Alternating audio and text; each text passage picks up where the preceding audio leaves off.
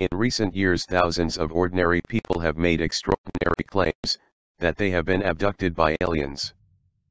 What follows is the terrifying account of one such abductee, a young musician named Rusty Hudson. We were playing in hotels and resorts and sending money home to pay off college loans. That week we were staying in a motel in West Florida town of Plant City. Our actual job was in nearly Tampa, but after finishing each night at 1 a.m., we would drive back to our accommodation in Plant City. We had been in town a few days when the incident occurred. A flash of light.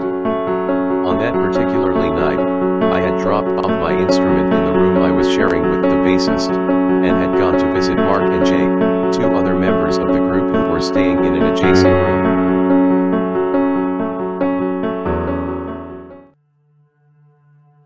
We were engrossed in conversation when we were suddenly disturbed by what looked like a brief, sputtering flash of light in the room.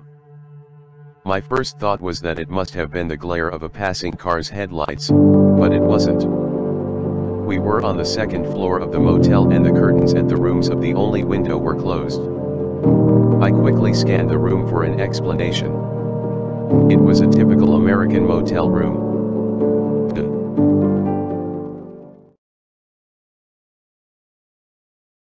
Behind it?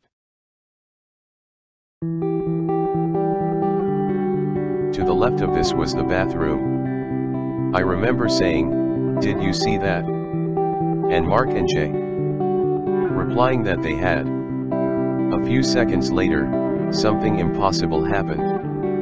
An intensely bright white light seemed to burst out of the BAC of the room by the mirror and wash basin as if someone had suddenly opened a door to the sun.